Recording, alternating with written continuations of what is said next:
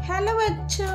आज हम पेंट करेंगे सनफ्लावर तो देखते हैं इसको पेंट करने में कौन से कौन से कलर यूज़ होंगे?